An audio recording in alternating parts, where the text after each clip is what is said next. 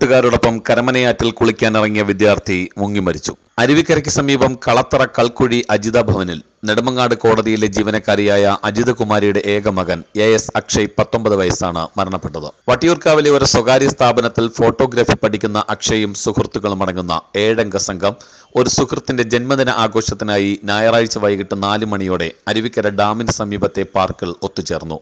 തുടർന്ന് പഴയ പോലീസ് സ്റ്റേഷനടുത്തുള്ള നൂറ്റിപ്പത്ത് കെ വി സബ് സ്റ്റേഷന് സമീപത്തെ കരമനയാറ്റിൽ കുളിക്കാനിറങ്ങി. കുളിക്കുന്നതിനിടെ അക്ഷയ് ഒഴുക്കിൽപ്പെടുകയായിരുന്നു. കഴിഞ്ഞ ദിവസങ്ങളിൽ പെയ്ത ശക്തമായ മഴയെ തുടർന്ന് ഡാമിലെ ഷട്ടറുകൾ തുറന്നിരുന്നതിനാൽ ആറ്റിൽ നല്ല ഒഴുക്കുണ്ടായിരുന്നു.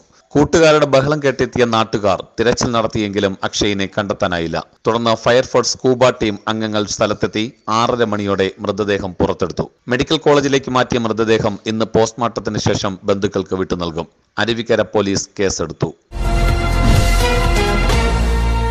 വാർത്തകളും വാർത്താ അധിഷ്ഠിത പരിപാടികളുമായി മീഡിയ വോയിസ് ടി വിയും ബി എം ടി വിയും നിങ്ങളുടെ സ്വീകരണ മുറിയിൽ കേരള വിഷൻ നാൽപ്പത്തി ഏഴാമത്തെ ചാനലിൽ മീഡിയ വോയിസ് ടി വിയും B M T V digi media നെറ്റ്വർക്കിൽ നൂറ്റി പതിനേഴാമത്തെ ചാനലും ഇനി മുതൽ ലഭ്യം.